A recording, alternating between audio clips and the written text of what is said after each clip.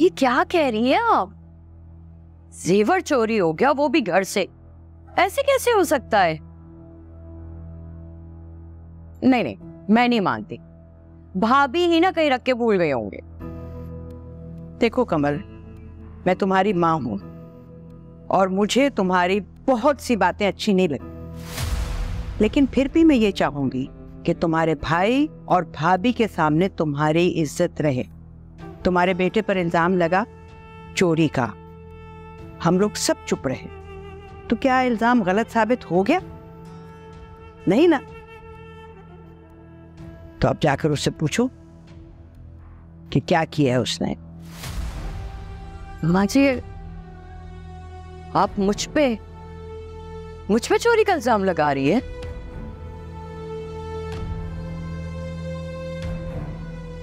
अगर आप सबने हमें घर से निकालना ही था तो कोई और तरीका अपना लेते। इस तरह चोरी का इल्ज़ाम लगाने की क्या ज़रूरत थी? मुझे तो यकीन ही नहीं आ रहा कि मेरी अपनी सगी माँ मुझ पे शक कर रही है। ये सुनने से पहले मैं मर क्यों नहीं गई? उफ, खुदाया। कमल, अब ये बस कर दो ये अपना ढोंग। मुझे सब समझ में आ रहा है कि क्या हुआ है। ये शादी का घर है। इस वजह से हम सब खामोश हैं। अब जाओ जाकर आसिफ से पूछो कि जेवरात उसने कहाँ छुपा के रखे हैं। यहीं कहीं घर में ही होंगे ना? जाओ।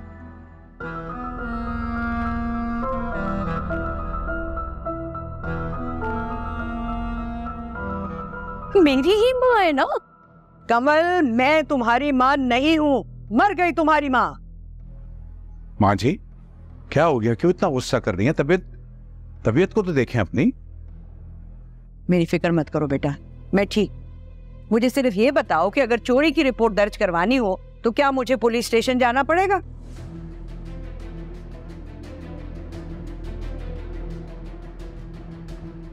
इसकी ज़रूरत नहीं है माजी। आपको पता है कभी कभी मुझे अफसोस होता था। मुझे दुख था इस बात का कि शायद मैंने अपनी बहन को अपनी बेटी ना देके इसके साथ ज्यादती करती है।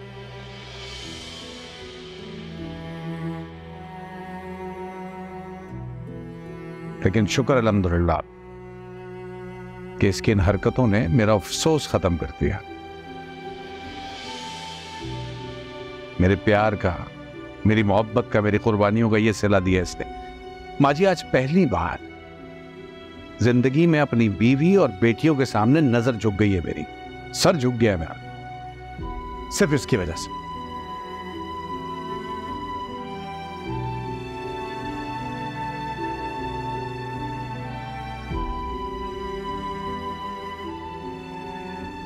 अजीब भाई, आप भी ऐसा ही सोच रहे सोच नहीं रहा हूँ। यकीन है हमें। कहते हैं ना कि किसी की अगर कोई चीज़ खो जाए और वो लोगों पे शक करता फिरे तो उसका ईमान जाता रहता है। तो मुझे अपने ईमान पे तो कोई सौदा नहीं करना, लेकिन इस मामले को मैं अपने अल्लाह के सुपुर्द करता हूँ।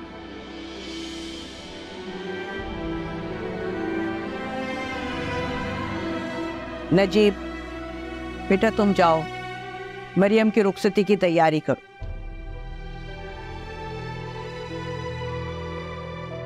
शादी के इंतज़ाम में किसी चीज़ की कमी नहीं होनी चाहिए। और वो मेरी दुकान है ना? वो बेच दो। ऐसी चीज़ें ऐसे वक्त में ही काम आती हैं। नहीं नहीं माजी उसकी ज़रूरत नहीं आप बेफिक्र रहे, अभी अभी इतनी हैसियत है अलहमदिल्ला कि कुछ ना कुछ कर लेंगे आप। मुझे ज़रूरत पड़ेगी तो बताऊँगा आपको, आप फ़िक्र रखें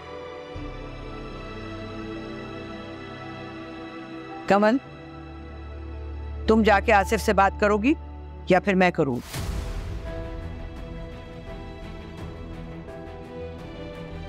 मगर मैं सिर्फ़ बात नहीं करूँगी, मैं उसको पुलिस स्टेशन लेकर जाऊँगी।